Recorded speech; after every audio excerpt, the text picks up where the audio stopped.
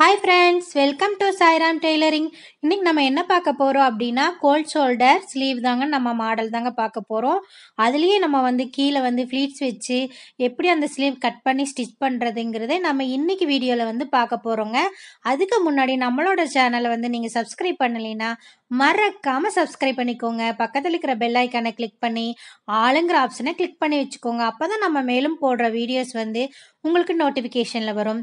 புதுசாக நீங்கள் பிகினர்ஸாக இருந்தீங்கன்னா இந்த ஸ்லீவ் வந்து நீங்கள் ஈஸியாக கட்டிங் பண்ணி ஸ்டிச் பண்ணிடலாம் உங்களுக்கு ரொம்ப ஈஸியான மெத்தடில் தான் நான் இன்னைக்கு வந்து சொல்லித்தர போகிறேன் இப்போ வாங்க நம்ம வீடியோக்குள்ளே போகலாம் இப்போ வந்து பார்த்தீங்கன்னா ரெண்டு ஸ்லீவுக்கு தகுந்த மாதிரி நான் லைனிங் எடுத்து வச்சுருக்கேங்க. லைனிங்கில் பர்ஃபெக்ட் ஸ்லீவ் வந்து கட்டிங் வந்து நம்ம போட்டு வச்சுருக்கோம்.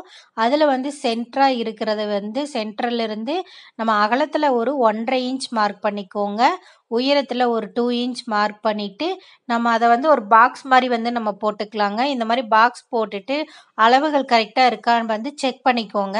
அதுக்கப்புறமா நம்ம நெக்குக்கெல்லாம் வரைகிற மாதிரி ஒரு ரவுண்ட் ஷேப் வந்து நம்ம அந்த இடத்துல வந்து வரைஞ்சிக்கலாங்க. இந்த மாதிரி வரைஞ்சிட்டு நம்ம இப்படி தட்டி விட்டுட்டோம் அப்படின்னா நம்மளுக்கு ரெண்டு சைடுமே அது அளவு வந்து ஒரே மாதிரி வரும். நம்ம ரெண்டு ஸ்லீவ் பீஸையும் நம்ம வச்சு வரையினால ரெண்டு ஸ்லீவ் பீஸையும் நம்மளுக்கு ஒரே அளவு வந்து கிடைக்கும். அளவுகள் மாறாது. இந்த மாதிரி நம்மளுக்கு தட்டி விடும்போது லைட்டான அளவு மார்க்கிங் வந்து தெரியும். அதை வந்து நம்ம டார்க்காக வந்து வரைஞ்சிக்கலாம் ரெண்டு ஸ்லீவ்லேயுமே அப்போ நம்மளுக்கு சேம் ஒரே மாதிரி நம்மளுக்கு கிடைக்கும். இப்போ வந்து நான் மெயின் கிளாத் வந்து இதுதாங்க ப்ளவுஸ் பீஸு நம்ம மெயின் கிளாத்து எடுத்திருக்கோம். இது வந்து நான் வந்து பர்ஃபெக்ட் கட்டிங் கிடையாது. எக்ஸ்ட்ரா கிளாத் இருக்குது இப்போ வந்து நான் ஒரு ஒன்றரை இன்ச்சுக்கு நீளமான கிளாத்து அதாவது மூணு இன்ச்சுக்கு எடுத்து அது ரெண்டாக ஃபோல்ட் பண்ணி ஒன்றரை இன்ச் வர மாதிரி ஸ்ட்ரைட்டாக தையல் போட்டிருக்கேங்க. அதை வந்து நம்ம ஃபுல்லாக வந்து ஃப்ளீட்ஸ் வந்து எடுத்துக்கலாம். இது ரெண்டு ஸ்லீவுக்கும் தகுந்த மாதிரி நான் வந்து எடுத்திருக்கேன். உங்களுக்கு கிளாத்து நீளமாக இருந்தால் நீங்கள் எடுத்துக்கோங்க. உங்களுக்கு எப்படி கிடைக்குதோ அந்த மாதிரி எடுத்துக்கோங்க. இது நல்லா ஃபுல் ஃப்ளீட்ஸ் வந்து நம்ம பிடிச்சதுக்கு அப்புறமா இந்த ஃப்ளீட்ஸ் கிளாத்தை வந்து நம்ம சரிசமமாக வச்சு கட் பண்ணி எடுத்துக்கலாம். அதுக்கப்புறமா நம்ம ப்ளவுஸ் பீஸை எடுத்துக்கலாங்க. ஸ்லீவில் வந்துட்டு மெயின் ப்ளவுஸில் நம்ம வந்து ஃப்ளீட்ஸ் வந்து மேலே வர மாதிரியும் பிசறு கீழே வர மாதிரியும் வச்சு ஸ்ட்ரைட்டாக வந்து நம்ம ஒரு தையல் போட்டுடலாம் அதுக்கப்புறமா வந்து நம்ம அது மேலே லைனிங் வச்சு அதுக்கு மேலே ஸ்ட்ரைட்டாக வந்து நம்ம ஒரு தையல் வந்து போட்டுக்கணும். நம்ம எப்போ ஸ்லீவ் அடித்து திருப்போம்ல அதுக்கு அதுக்கு மாதிரி நம்ம ஃபஸ்ட்டு கீழே தையல் போட்டுட்டு அதுக்கப்புறமா தான் நம்ம வந்து மேலே வந்து நம்ம மார்க் பண்ணியிருக்கோம் இல்லைங்களா? அங்கேயும் நம்ம வந்து ஸ்டிச் பண்ணிக்கணும். இதுக்கு வந்து நம்ம ஸ்டிச் பண்ணும்போது கீழே வந்து எக்ஸ்ட்ரா ஒரு கிளாத் வந்து நம்ம கொடுக்க போகிறோம் இந்த மாதிரி கட்டிங் வேஸ்ட்டில் இருக்கிற ஏதாவது ஒரு லைனிங் பீஸ் எடுத்துட்டு நீங்கள் அந்த ஸ்லீவுக்கு தகுந்த மாதிரி கீழே வச்சு அதுக்கு மேலே நம்ம மார்க் பண்ணியிருக்கிற இடத்த நம்ம வந்து தைச்சிக்கலாங்க. இப்படி நம்ம தைக்கும்போது அந்த தையல் வந்து கொஞ்சம் ஸ்டிஃப்னஸ்ஸாக இருக்கும். வளைவுகள் வந்து வராது. அப்புறம் அளவெல்லாம் எவ்வளோ இருக்குன்னு பார்த்துக்கோங்க நம்ம தையல்லேருந்து இந்த பக்கம் தையலில் என்ன அளவு இருக்குன்னு நம்ம செக் பண்ணிவிட்டு இந்த மாதிரி சிசர் கட் வந்து நம்ம சுற்றிலையும் நம்ம கொடுத்துக்கணும். அதுக்கப்புறமா லைனிங்கை வந்து இந்த மாதிரி எடுத்து விட்டுட்டு கொஞ்சம் வளைச்சி வளைச்சி அந்த லைனிங் மேலேயே நம்ம வந்து பதிப்பு தையல் போடுவோம் இல்லைங்களா? அந்த மாதிரி வந்து போட்டுக்கோங்க.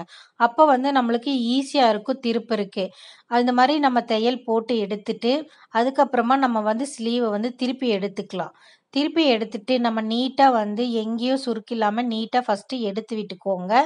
அதுக்கப்புறமா இந்த வளைவில் வந்துட்டு நம்ம ப்ளவுஸ் பீஸ் மேலே எஜ்ஜு தையல் நம்ம போடுவோம் இல்லைங்களா? அந்த வளைவுக்கு தகுந்த மாதிரி எஜ்ஜு தையல் வந்து போட்டுக்கோங்க. இந்த மாதிரி நீட்டாக வந்து எடுத்து விட்டு தையல் போட்டுக்கோங்க. இந்த தையலுக்கு கீழே ஒரு கால் இன்ச்சு இடைவெளி விட்டு நீங்கள் இன்னொரு தையல் போட்டுக்கோங்க. நான் இதில் வந்து போடலை. கடைசியாக நான் போட்டிருக்கேன். இப்போ வந்து நான் போடலை. அதே மாதிரி கீழே வந்து அந்த ஃப்ளீட்ஸை இழுத்து விட்டு அந்த ஓரத்தில் ஒரு தையல் போட்டுக்கோங்க. அதுக்கப்புறமா ஒரு கால் இன்ச் இடைவெளி விட்டு இன்னொரு தையல் வந்து நம்ம போட்டுக்கலாம். இப்போ வந்து நம்மளுக்கு ஸ்லீவ் வந்து மேலே இருக்கிற அந்த லைனிங்கை வந்து நம்ம அட்டாச் பண்ணி எடுத்துக்கலாங்க. அட்டாச் பண்ணி எடுத்துட்டு எக்ஸ்ட்ரா இருக்கிற கிளாத் எல்லாம் நம்ம வந்து கட் பண்ணி எடுத்துடலாம். இப்போ பாருங்கள் எக்ஸ்ட்ரா இருக்கிற கிளாத் எல்லாம் கட் பண்ணி எடுத்துட்டு நம்ம அதுக்கப்புறமா ப்ளவுஸில் இந்த ஸ்லீவை வந்து நம்ம ஜாயின் பண்ணிக்கலாம். நம்ம வந்து ஃபஸ்ட்டு தையல் போட்டதுக்கு அப்புறமா வந்து நம்ம அதனோட அளவு என்ன இருக்குன்னு சொல்லி நம்ம டேப் வச்சு செக் பண்ணோம் இல்லைங்களா? அந்த அளவை வந்து நம்ம இங்கே ஷோல்டர்லேருந்து நம்ம வந்து மார்க் பண்ணிக்கணும். ஃபஸ்ட்டு எந்த சைடு ஸ்லீவ் வருதுன்னு செக் பண்ணிவிட்டு நம்ம வந்து மூணு இன்ச் வந்து எடுத்திருந்தோம். சென்ட்ரல் ஷோல்டர் ஜாயின்லேருந்து அந்த பக்கம் ஒன்றரை இந்த பக்கம் ஒன்றரை நீங்கள் மார்க் பண்ணிவிட்டு இந்த மாதிரி அந்த மார்க்லேருந்து இந்த பீஸோட இந்த இதை வச்சு நம்ம அப்படியே இந்த பக்கமாக நம்ம வந்து ஸ்டிச் பண்ணிட்டு வரணுங்க. அதுக்கப்புறமா நம்ம திருப்பிட்டு அந்த பக்கம் மார்க் பண்ணியிருக்கோம் இல்லைங்களா? அந்த மார்க்கையும் இந்த கார்னரையும் ஒன்றா வச்சு நம்ம வந்து இந்த மாதிரி தையல் போட்டு வரணும். இப்படி தைக்கும் போது நம்மளுக்கு அளவுகள் வந்து மாறாது. கரெக்டாக வந்து பர்ஃபெக்டாக நம்மளுக்கு கிடைச்சிரும். நம்ம ஈஸியாக வந்து நம்ம தைச்சிடலாம் அதுக்கப்புறமா நம்ம ஸ்லீவ் சைடில் நம்ம எப்பவும் போல் ஸ்ட்ரைட்டாக நம்ம ஒரு தையல் போடுவோம் இல்லைங்களா? அந்த மாதிரி நம்ம ஸ்ட்ரைட்டாக தையல் போட்டு வரலாம். இந்த மாதிரி நம்ம தையல் போடும்போது அந்த ஷோல்டர் கேப்லேயும் நம்ம ஒரு தையல் கொடுப்போம் இல்லைங்களா? அந்த தையலில் நம்ம அதுக்கு தகுந்த அந்த தையல் இருக்கும்போது அந்த இடத்துல நீங்கள் மடித்து கொடுத்தீங்கன்னா ஆட்டோமேட்டிக்காக உங்களுக்கு அந்த மடிப்பு வந்து வந்துடும் அந்த மடிப்பில் இந்த கேப்லேருந்து அந்த கேப் வரைக்கும் நீங்கள் எஜ்ஜு ஃபஸ்ட்டு ஸ்டார்டிங்லேயும் முடிக்கும்போது கெட்டி தையல் போட்டு அப்படியே ஒரு தையல் போட்டு எடுத்துருங்க. அவ்வளோதாங்க ஈஸியாக நம்ம வந்து ஸ்லீவ் வந்து ஜாயின் பண்ணி எடுத்துட்டோம். ரொம்ப ஈஸியாக இருக்கும்னு நினைக்கிறேன். அளவு வந்து கரெக்டாக இருக்குது அந்த பொண்ணு ப்ளவுஸு என்கிட்ட போட்டு காமிச்சிட்டு தான் போனால் எந்த ஒரு ப்ராப்ளமும் இல்லை. பர்ஃபெக்டாக இருக்குது அதுக்கப்புறமா நம்ம ஸ்லீவ் வந்து ஜாயின் பண்ணிக்கலாங்க. எப்பவும் போல் நம்ம ஜாயின் பண்ணுறது தாங்க நம்மளோட ஸ்லீவோட அளவை வச்சு மார்க் பண்ணிவிட்டு அப்படியே நம்ம வந்து ஸ்ட்ரெயிட் தையல் வந்து நம்ம போட்டுக்கலாம். மூணு தையல் போட்டுருங்க. அப்புறம் ஒரு அரை இன்ச் விட்டு ஒரு எக்ஸ்ட்ரா தையல் போட்டு எக்ஸ்ட்ரா இருக்கிற பிசுரெல்லாம் கட் பண்ணி எடுத்துருங்க.